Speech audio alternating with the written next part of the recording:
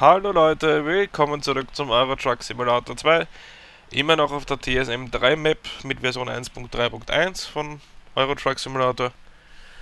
Und ich bin noch immer nicht allein. Neben mir sitzt noch immer mein Beifahrer. Hallo Darcy. Ja, hallo. Ja, ich bin immer noch da. Genau. So, und dazu würde ich mal gleich vorschlagen, suchen uns gleich einen Auftrag. Wieder mal das Ja. übliche. Ach, guck mal, wieder so ein Top-Auftrag. Fargo, Fargo. Aber diesmal muss man 400 Meter mehr fahren. Ja, da kriegst du kriegst du ja auch ein Euro mehr. Madrid, Barcelona, nein, fahren wir nicht. Dann kommen wir wieder an der Stelle vorbei. Ja. Da müssen wir erst abklären, ob das ein Bug ist oder nicht. Barcelona, Montpellier. Och, Nee. nö. Da sind wir, die Strecke sind wir ja eh schon halb gefahren. Ja. Das muss ja nicht nochmal sein. Sevilla. Also von Tangier nach ja. Sevilla. Ja. Oder nach Rabat. Nein. Rabatt. Nee, wir brauchen halt keinen Rabatt. Nee. Wir fahren für Nizza. regulären Preis. Nö. Ach, nö. Wieso? Was haben wir da? Das ist da, wo wir das letzte Mal aufgehört haben. Haben wir Die nichts- Strecke wieder zurück, die wir nicht fahren wollen. Gehen wir mal ein bisschen weiter nach hinten. Vielleicht kommen da ja mal ein paar interessantere Strecken. Da, look, nee, doch, das ist Standard. Luxemburg Dortmund ist. Standard, ja. ja Ja. ich glaube, das Problem ist, dass wir einfach nur da Ja. freigeschalten haben und da Ja. drüben, ja gut, nach müsste Dänemark kommen wir sowieso nicht. Äh, man müsste sich so langsam Richtung Nordwesten oder Nordosten hocharbeiten. Ja, nur da komme ich, nicht- komme ich Ja. nicht weit nach Norden. Ja. Zürich. Ja, das sind einfach nur die normalen. Ich denke mal, äh, ja, man kann halt nur die Schnellaufträge in Städten annehmen, wo man schon mal irgendwann war. Hm, Das ist das Problem. Folge dessen. Aber die äh, irgendwie ist äh, bei den Schnell überhaupt bei den Aufträgen äh, Spa äh, hier Afrika im Übermaße vertreten. Mhm. Ich finde das ein bisschen zu viel teilweise. Valladolid nach Porto. Ja, das ist doch mal ein bisschen weiter oben. 456 Kilometer mit einem Iveco. Ja.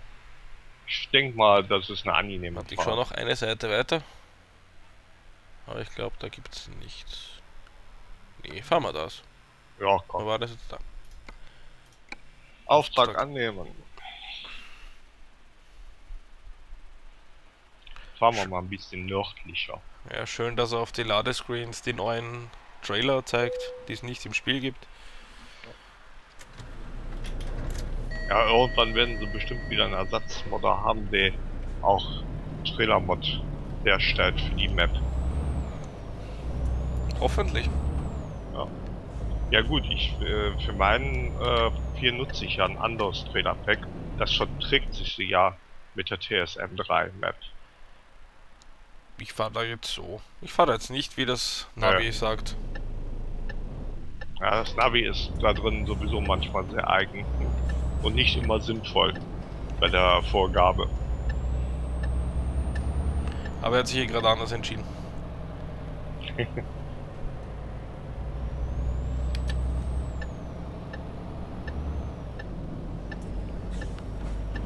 Und wir fahren einen Iveco.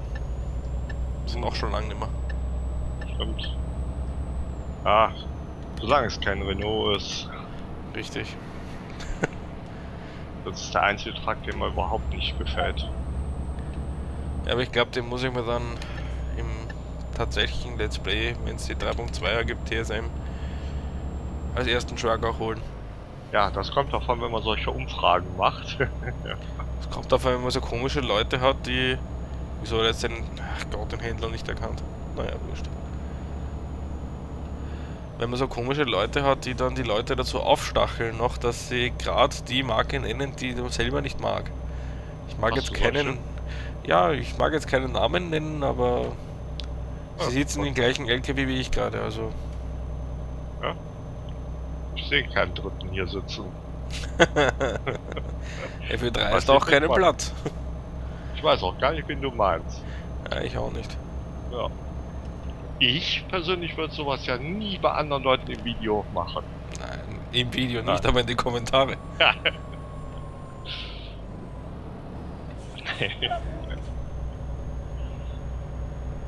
so, und jetzt kriege ich mal wieder. Geht mal bitte einer rausschieben. Ah, geht ja. Wir sind noch über 30 hochgekommen. Juhu. Mit, mit wie viel fahren Sie auf die Autobahn? Auf 30. ja. Glauben Sie, dass das richtig ist? Nein, aber der LKW schafft nicht mehr. ja. 30, da bist du ja noch schnell. Teilweise kannst du ja froh sein, wenn du mit 10 hochkommst. Ja, ich glaube, die Fracht ist zu schwer für den Iveco. Der wird sicher nicht den stärksten Motor drinnen haben. Aber wir hatten ja im letzten Video schon erwähnt, dass äh, SCS das äh, in Patch 1.3 etwas übertrieben hat mit den Gewichten. Mhm, richtig. Weil das ja nicht, das sind ja jetzt keine Schwerlasten, das sind ja nur meistens so 15 bis 25 Tonnen, die man im Durchschnitt dranhängen hat. Und das dürfte auch ein Truck mit 350 bis 400 PS nichts ausmachen. Im Normalfall nicht, nein. Ja. Wie wir auch schon festgestellt haben, in echt, die ganzen Speditionen haben auch nicht, nicht so starke Zugmaschinen.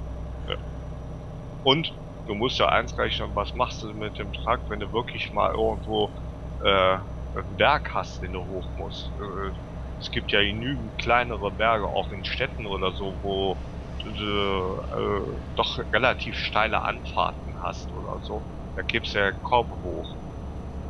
Das ist richtig, Also das, Deshalb kann man sehen, dass die Gewichtsberechnung der Trailer etwas daneben liegt. Aber komischerweise hat sich bis jetzt kein einziger Modder je damit befasst. Wer weiß, wie kompliziert das ist. Ich meine, ich, ich kenne die, ich weiß nicht, wie das, wie das hinterlegt ist im, im Ja, Spiel. auch. Also, Da bin ich auch überfragt. Ich meine, ich bewundere ja jeden Modder, der sich wirklich die ganze Arbeit macht. Teilweise äh, mache ich mir ja auch so kleinere Arbeiten und äh, schreibe ein paar Sachen um oder so. Aber das sind äh, doch äh, relativ einfache Sachen. Also ich bewundere schon, dass Modder wirklich sich da reinhängen und sich die Sachen raussuchen und dann programmieren oder umschreiben. Also es ist schon eine äh, relativ große Arbeit und eine gute Leistung. Mhm, auf jeden Fall. Und ich möchte gar nicht wissen, wie viele Stunden die da reinstecken. Ja. Äh, stell dir mal vor, hier so Modder eben hier wie bei der TSM-Map, was die für eine Arbeitsleistung in so ein Hobbyprojekt reinstecken. Das ist Mhm. doch schon eine Vollzeit Freizeit äh, Vollzeit Freizeitbeschäftigung, ja. Ja. Eine da hast- unbezahlte auch noch. Ja, da hast du also nicht mehr viel Freizeit über, um dann noch irgendwas anderes zu machen. Also das muss man den Leuten wirklich hoch anrechnen. Allen Moddern. Ist egal, ob sie jetzt einen kleinen Mod machen oder einen großen Mod machen. Allen muss man das eigentlich hoch anrechnen, dass sie sich überhaupt die Arbeit machen, weil sie das ja wirklich nur just for fun machen. Ja, und SCS kann froh sein, dass es solche Modder gibt, sonst wird heute keiner, Ja. keiner mehr über ETS 2 reden. Ja, aber äh, das ist bei OMSI so und das ist auch beim Landwirtschaftssimulator so. Die Spiele sind ja nur erfolgreich, weil es eine Modder-Szene gibt. Man hat ja gesehen beim Bus-Simulator, da gibt es keine Mods. Ja, Siehst du, wie viele heute noch davon reden? Ja. Das ist dann so schnell langweilig, dass, oder auch andere Truck-Simulationen oder so, die äh, keine Mods anbieten oder eben nicht die Möglichkeit anbieten, dass man überhaupt Mods erstellen kann. Die sind genauso schnell wieder weg vom Fenster, wie sie gekommen sind. Weil so ohne, die mögen vielleicht keine schlechten Spiele in dem Sinne sein, aber da sie eben keine Mods haben oder vielmehr diese ganze Szene nicht unterstützen, sind die Spiele halt für die meisten Leute uninteressant. Mhm. Ja, es ist natürlich was anderes als ein, ein Ja, weiß nicht, Aufbaustrategie oder Rollenspiel oder wobei Skyrim oder alle wie es heißen, gibt es auch genug Mods dafür. Ja, ja gut, aber das ist auch bei Rollenspielen nicht immer so. Es gibt ja genügend Rollenspiele, wo es äh, keine Mods für gibt. Äh, weil sie das vom Hersteller aus nicht vorgesehen haben, dass andere Spieler äh, da irgendwelche Erweiterungen machen. Das ist Skyrim äh, oder überhaupt diese Serie ist da eine rühmliche Ausnahme, dass es da einen Editor gibt, dass man eben wirklich selbst Sachen entwickeln kann und äh, äh, anderen Leuten anbieten kann. Das ist ja auch das Schöne bei Stream, bei Skyrim, dass du da diesen, wie heißt das bei Stream, Workshop? Workshop, ja. Ja, Workshop, wo, wo man alle Mods eigentlich an einer Stelle findet und die direkt dort runterladen kann. Ohne dass man jetzt, wie es eben hier beim Eurotruck ist, dass man äh, zig Dutzend Seiten hat, die irgendwo irgendwelche Mods anbieten und man sich die Mods eigentlich suchen muss. Mhm. Ja, und der installiert es gleich ins richtige Verzeichnis. Ja. Braucht sich um nichts mehr kümmern. Wenn du das Spiel startest, überprüft er direkt, äh, ob das, ob der Mod noch aktuell ist oder ob er eingestellt worden ist oder so. Das ist das Schöne bei Skyrim. Muss ich also sagen. Man muss selbst keine Kontrolle drüber halten über die Mods, wenn man nur Spieler ist, sondern das Spiel achtet schon darauf und beim Spielstart kriegt man mitgeteilt, der und der Mod hat ein Update, dann wird er auch automatisch runtergeladen und wieder auf den neuesten Stand gebracht oder es wird mitgeteilt, äh, ob man den Mod noch drin behalten will, obwohl er vom Modder zurückgezogen worden ist. Obwohl er Fehler hat. Ja, das ist das Schöne an Steam eigentlich. Ja. bei Spielen das gleiche. Wird auch automatisch abgedatet, man kann es natürlich abschalten. Ja. Genau. Aber im Normalfall, sobald man Steam startet, wird überprüft, ob es ein Update gibt für die Spiele, die man hat. Ja. Oder die Spiele, die man installiert hat. Ja, und, wenn es das gibt, dann lädt er sich's runter und ja. ja. Und Stream überprüft vorher, ob äh, das Spiel überhaupt auf den Windows-Versionen lauffähig ist. Und da kann man sich eigentlich schon relativ gut drauf verlassen. Auf den ihre Angaben. Ja, schon eine feine Erfindung eigentlich. Ja. Ja, von diesen ganzen Plattformen ist für mich Stream die einzige Plattform, die in Frage kommt, da man Stream auch so einstellen kann, dass man eigentlich komplett offline bleibt. Auch wenn ja, man eine Online-Verbindung hat. Ja, einmal musst du online spielen, glaube ja. ich. Mit dem Spiel ja, dann kannst du es offline spielen. Aber ich kann halt bei Stream sagen, Stream, geh bitte offline und bleib offline. Auch wenn ich online bin oder sowas, aber ich möchte nicht, dass du dich verbindest, und das kann man bei den ganzen anderen Plattformen halt nicht. Weil, sobald man anfängt zu spielen, brauchen die auch die Online-Verbindung. Ganz negatives Beispiel für mich ist eigentlich immer noch Uplay von Ubisoft, wo man ja bestimmte Spiele gar nicht mehr spielen kann, wenn man keine Online-Verbindung hat. Siehe Anno 2070 oder Siedler 7 oder sowas. Das wären alles Spiele gewesen, die ich mir gerne hätte gekauft. Und früher hätte ich sie auch gekauft. Aber mit dieser, mit diesem komischen Zwang, dass ich äh, die nur spielen kann, wenn meine Online-Verbindung äh, äh, dran ist. Nein. Ja, aber das ist halt, ist leider so, dass die meisten Hersteller auf solche Online-Kopierschutzmaßnahmen gehen. Ja, aber wir Kunden oder wir Spieler haben es ja eigentlich in der Hand. Wie viele Leute haben sich über, sagen wir mal hier, SimCity zum Beispiel aufgeregt? Mit diesem Online-Zwang, dass man es nur online spielen kann. Und äh, viele haben sich aufgeregt, viele haben gesagt, ah, ist das blöd und etc. Aber trotzdem ist es verkauft worden wie geschnittenes Brot. Ja, sicher. Warum sollte der Hersteller es anders jetzt machen? Richtig. Ja. Er hat die Bestätigung, dass die Leute kaufen, also für ihn ja. ist so einfacher. Ja. Nur dann. Er hat es besser unter Kontrolle. Er kann, er hat ja das Argument, seht ihr Leute, das Spiel verkauft sich gut, weil es keine Raubkopien gibt oder fast keine, weil wegen dem Online-Zwang ist eine Raubkopie herzustellen relativ schwer. Folgedessen haben wir recht gehabt. Mhm. Und wenn wir Spieler nicht kaufen würden, aber wir Spieler sind ja teilweise wirklich so, wir hören, es kommt ein neues Spiel raus und wir können es kaum erwarten, und teilweise wird es eben auch groß vorbestellt, obwohl man noch gar nicht weiß, wie gut es ist. Ich habe das jetzt die Na äh, in irgendeiner News gelesen. Äh, GTA 5, ist, ja, mhm. das ist das ja, Neue, was kommen wird. Nächste, ja. Es ist in Großbritannien, ich glaube Großbritannien war das nur, oder war das ganz Europa? Bevor ich jetzt hier wieder Blödsinn erzähle. Auf jeden Fall gibt's eine, äh, ist das bei irgendeinem Anbieter in Großbritannien 5, äh, 3 Millionen Mal schon vorbestellt. Wahnsinn. Und kein Mensch weiß, ob das Spiel wirklich gut wird. Ja, Trailer können einem zwar viel zeigen, aber ob das dann im End, im wirklichen Spiel wirklich, also im fertigen Spiel wirklich so ausschaut, das Und weiß heute noch keiner. Ja, wie war es denn bei dem Spiel, was Anfang des Jahres rauskam? Äh, wie ist dieses Alien da? Äh, Alien vs. Barbie des Kaisen.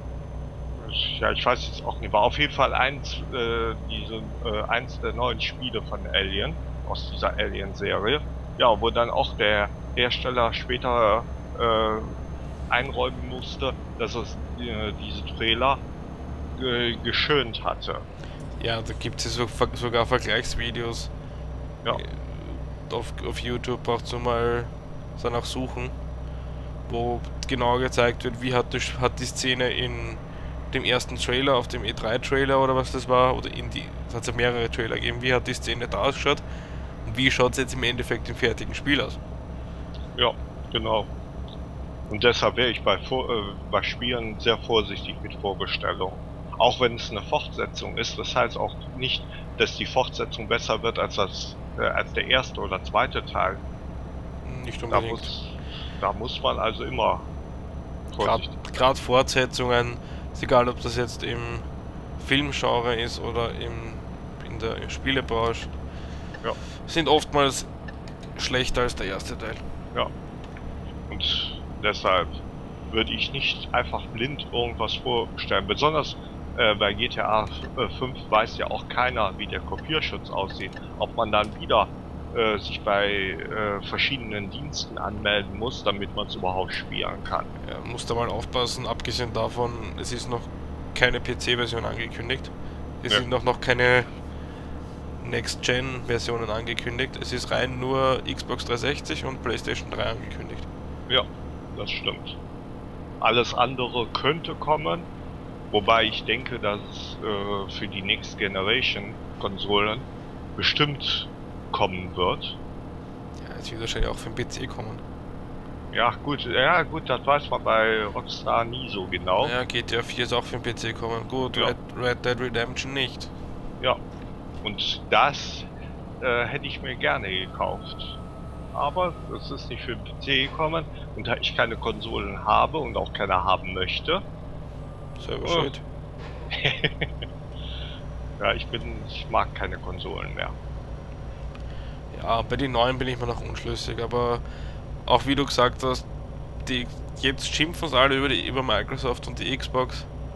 Ja, aber kaufen, kaufen. kauf jetzt trotzdem. Ja. so viel ich gelesen habe, sind äh, äh, die Angebote, also die Amazon hat für die Konsolen, für die Erstauslieferung, alle schon vorbestellt.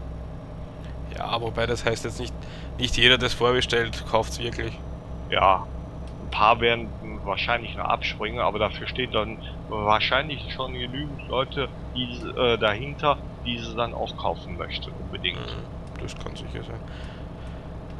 Ich werde mich jetzt dieses Jahr sicher nicht, äh, nicht abhetzen, sondern halt nicht ja, ja gut, bei der Erstveröffentlichung sind die Konsolen sowieso meistens viel zu teuer. Wer ein bisschen. Geduld hat und ein bisschen warten kann. Ein bisschen, sind, ein bisschen sind dann aber ein paar Monate. Ja, ein halbes Jahr oder so. Aber gut, daran wird man auch nicht sterben. Und man hat ja auch gesehen bei den anderen Konsolen, die ersten Generationen haben meistens noch irgendwelche technischen Fehler drin. Ja, nur ehrlich gesagt, Microsoft kann sich das bei der Generation nicht mehr leisten. Ja, kann, aber wie gesagt. Natürlich kann es sein, nur das Ganze, du musst auch darauf aufpassen, das ganze System basiert auf einem ATX-System, also einem eigentlich einen Computer, was schon jahrelang erprobt ist, wo man weiß, mhm. wie man das Ding kühlen muss. Also Man Ja. sollte es, man sollte davon ausgehen, dass es solche schwerwiegenden Bugs nicht mehr gibt oder Fehler, äh, wo ein ganzes System stirbt, weil es zu heiß wird oder sonst irgendwas. Also rein theoretisch sollte sowas nicht passieren. Mhm. Aber ich wäre trotzdem nicht, oder ich würde meine Hand nie ins Feuer legen, dass es nicht doch passiert. Ja, natürlich kann es sein, dass wieder mal ein billiges Lötzinn verwenden, wie bei der 360. Ja. Dass dann, wenn es heiß wird, auf einmal äh, flüssig wird und die Verbindung weg ist. Ja, besonders, äh, es ist ja der Unterschied, äh, wenn ich eine Konsole als Prototyp habe oder ob das als äh, in die Massenproduktion reingeht. Bei einem Prototyp wird alles per Hand gemacht, da ist das alles noch in Ordnung. Bei der Massenproduktion kann sehr schnell sich ein Fehler einschleichen, weil irgendeine Herstellermaschine oder ein Roboter irgendeinen Fehler baut. In die äh, in Plantinen ein oder sonst was. Kann natürlich passieren. Ja. Naja, wir werden sehen, was bis dahin passiert. Sind ja noch ein paar Monate dahin. Ja, Ich glaube, die Man Playstation ja- soll jetzt im, was ich als letztes gehört habe, im November kommen. Ja, ich schätze mal, die Xbox One wird auch nicht äh, viel früher oder viel später kommen. Die werden wahrscheinlich beide relativ zeitnah gleichzeitig rauskommen. Ja, die wollen beide das, Weihnachtsgeschäft haben. Ja, natürlich. Das wird keiner dem anderen überlassen. Ne, das glaube ich auch nicht. Gott sei Dank keine Blitzampel. Ja, sonst hätte sie jetzt schon wieder ein kleines Knöllchen bekommen. Und hätte wieder mal zahlen müssen. Ja. Ja, Gott sei Dank sind ja nicht alle Ampeln auf Blitze hier ausgelegt. Und Gott sei Dank hast du die, die Strafen reduziert. Ja. Ja gut, ich meine, die Strafen sind ja auch teilweise äh, äh, etwas unrealistisch, sagen wir mal so. 500 Euro für einen Blitzer ist schon ein bisschen viel. Ja. Ich meine, hier beim Unfall, gut, da könnte man doch das Argument machen, die Strafen könnten sie ja höher sein, wenn man jetzt zum Beispiel wegen den Schäden oder so mit einrechnen würde. Gut, aber trotzdem finde ich es ein bisschen unrealistisch. Das, was es eben an Strafen gibt. Auch für zu schnelles Fahren oder so. Weil ETS kann halt nicht feststellen, ob man jetzt nur 10 Kilometer schneller ist oder 100 Kilometer schneller ist als erlaubt oder so. In Wirklichkeit Also, äh, sind die Strafen ja auch unterschiedlich hoch. da muss, muss ja Möglichkeit geben, dass er feststellt, okay, ich fahre jetzt 90 ist erlaubt, ich fahre jetzt 95, okay, ich erblitzt und ich fahre jetzt 120. Ja. Das muss er ja erkennen, wie schnell ich fahre. Ja gut, aber das, äh, der Programmcode hat scheinbar nicht dafür, äh, oder im Programmcode ist nicht dafür vorgesehen, dass die Strafen bei zu schnellem Fahren unterschiedlich stark sind. Das heißt, äh, wie in Wirklichkeit, ob du jetzt 10 Kilometer drüber bist, 30 Kilometer oder eben 50 Kilometer über der Richtgeschwindigkeit, äh, das kann das Spiel halt nicht verarbeiten oder vielmehr, es ist nicht vorgesehen, dass es da unterschiedliche Strafen gibt. Weil hier bist du halt, du brauchst ja schon einen Kilometer drüber zu fahren, dann kannst du schon eine Strafe bekommen. Du, du bekommst aber dieselbe Strafe, ob du jetzt da in der Strecke, wo du 30 fahren darfst, mit 35 eben durchfährst oder mit 100 durchfährst, die Strafe ist gleich hoch. So, da haben wir es ja schon. Die sind schon wieder da. Und eine bisschen längere Folge mit Jo. 24 Minuten aktuell schon. Kommt jetzt drauf an, wie lange du noch fürs Einpacken brauchst. Sollte nicht lang dauern. ja. Sollte. Schauen. Wird nicht lang dauern. Oh, ist ein relativ netter Parkplatz. Da ist der Vorteil, wenn man Lenkrad hat, da ist das doch ein bisschen einfacher. Ja, man sollte in die richtige Richtung lenken. Ja, gut. also mit Tastatur oder auch mit Maus geht das trotzdem nicht so einfach. Das sicher nicht. Und ausgezeichnet, schon wieder keiner drauf gefahren. Na Gott sei Dank. Und kein Level Up, na schade. Na gut, würde sagen, das war's für heute. Wieder mal, ich hoffe, eine unterhaltsame Folge für euch. Ich sag danke fürs Mitfahren. Ja, ich bedanke mich auch, dass ich mitfahren durfte. War wieder sehr unterhaltsam. Hat wieder Spaß gemacht. Vielleicht in Zukunft dann wieder mal. Vielleicht zusammen. dann auf der TSM 3.2. Genau. Mit Patch 1.4. Naja, schauen wir mal. Gut, dann Leute, danke fürs Zuschauen und bis zum nächsten Mal. Tschüss. Ade.